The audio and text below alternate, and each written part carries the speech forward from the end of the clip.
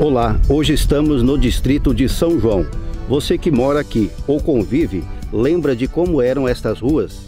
Local este, onde famílias que residem aqui é, tinham angústia, um sofrimento já há muitos anos. E no final de 2016, onde uma enorme erosão invadiu essas ruas, esse local, e as, muitas famílias tiveram que abandonar suas residências com o medo e o risco de uma erosão devorar suas residências. Olhamos isso com muito carinho e muita responsabilidade e hoje solucionamos este problema.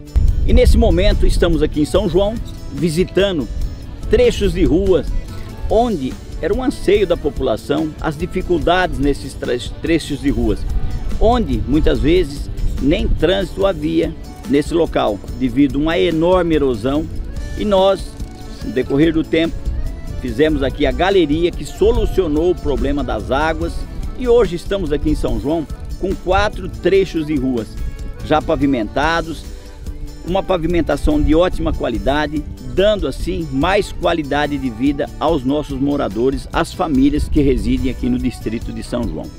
Onde é aplicado aqui um investimento próximo a meio milhão de reais o prefeito Gervasoni, em sua administração, se preocupou com as famílias, valorizando, oferecendo infraestrutura, conforto e segurança para os moradores aqui do distrito de São João.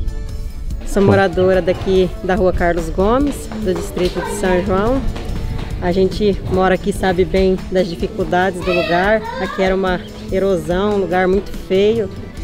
E hoje a gente nem acredita do lugar, como que ficou bom valorizou nossos imóveis e nem parece mais a rua, parece outro lugar.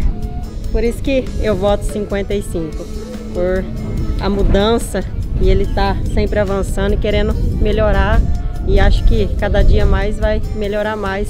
Vote para prefeito Gervasoni, vice Claudemir Caetano, número 55. Autônia segue em frente. Cada tempo uma história, em cada história tem alguém.